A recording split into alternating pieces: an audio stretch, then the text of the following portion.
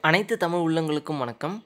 இன்றைக்கி நம்ம சேனலில் பார்க்க போகிற வீடியோ என்னன்னு கேட்டிங்கன்னா வந்து ஐஃபோன்ஸ் அதாவது ஐஃபோன் வந்து ஒரு ஒரு வருஷமே வந்து தன்னுடைய நியூ மாடல் மொபைல் ரிலீஸ் பண்ணும்போது தன்னுடைய ஓல்டர் மொபைலுக்கான வந்து ப்ரைஸ் வந்து கம்மி பண்ணிட்டு தான் இருக்காங்க. அதுக்கேற்ற மாதிரியே இந்த வருஷமும் தன்னுடைய ஓல்டர் மொபைலுக்கான ப்ரைஸ் வந்து கம்மி பண்ணியிருக்காங்க. ஸோ எந்தெந்த மாடலுக்கு வந்து ஐஃபோன் வந்து ப்ரைஸ் கம்மி பண்ணியிருக்காங்க? என்ன ரேஞ்சில் கம்மி பண்ணியிருக்காங்க? அப்படின்ற ஃபுல் டீட்டெயில்ஸ் இன்றைக்கி நம்ம வீடியோவில் பார்க்கலாம். நம்ம வீடியோக்குள்ளே போகிறதுக்கு முன்னாடி நம்ம சேனலும் சப்ஸ்கிரைப் பண்ண ஃப்ரெண்ட்ஸ் கீழே ரெட்டில் சப்ஸ்கிரைப் பண்ண கிளிக் பண்ணி மறக்காமல் சப்ஸ்கிரைப் பண்ணிடுங்க. வாங்க வீடியோக்குள்ளே போகலாம் அதாவது இந்த வருஷம் செப்டம்பர் டென் அப்போ வந்து ஐஃபோன் தன்னுடைய நியூ சீரியஸ் லான்ச் பண்ணியிருந்தாங்க. இந்த சீரியஸோட நேம் என்ன அப்படின்னு கேட்டிங்கன்னா வந்து ஐஃபோன் லெவன் சீரியஸ். ஸோ இந்த ஐஃபோன் லெவன் சீரியஸில் மொத்தம் மூணு மாடல் மொபைல் லான்ச் பண்ணியிருந்தாங்க. IPhone eleven iPhone eleven pro and iPhone eleven pro max அப்படின்னு சொல்லிட்டு மூணு மாடல் வந்து லான்ச் பண்ணியிருந்தாங்க. ஸோ இந்த ஐஃபோன் லெவன் சீரியஸ் லான்ச் பண்ணதுக்கப்புறம் ஐஃபோன் வந்து தன்னுடைய ஓல்டர் மொபைலுக்கான ப்ரைஸ் வந்து கம்மி பண்ணுறோம் அப்படின்னு சொல்லிட்டு அஃபிஷியலாக சொல்லியிருக்காங்க.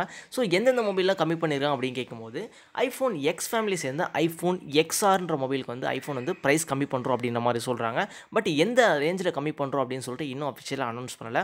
ஐஃபோன் எக்ஸ் ஃபேமிலிஸ் வந்து ஐஃபோன் எக்ஸ் ஆருக்கு மட்டுமே தான் கம்மி பண்ணுறாங்க அதோட வந்து ஐஃபோன் எக்ஸுக்கும் சரி ஐஃபோன் எக்ஸ் எஸ் மேக்ஸுக்கும் வந்து இது வரைக்கும் ஐஃபோன் ப்ரைஸ் கம்மி பண்ணலை அப்படின்ற மாதிரி சொல்லியிருக்காங்க.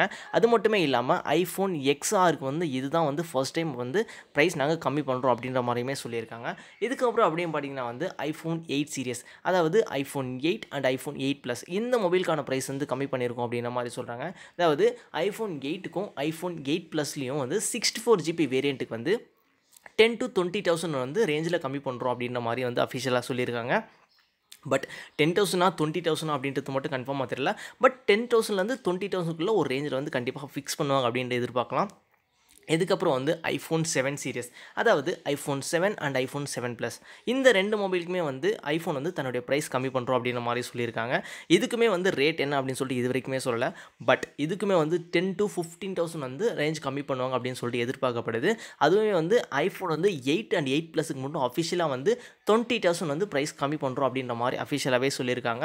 ஸோ இது வந்து இன்னும் ஒன் மந்த் அதாவது இந்த மந்த் எண்ட்லேருந்து இந்த ரேட் வந்து ஃபிக்ஸாக ஃபாலோ பண்ணுவாங்க அப்படின்றது எதிர்பார்க்கப்படுது.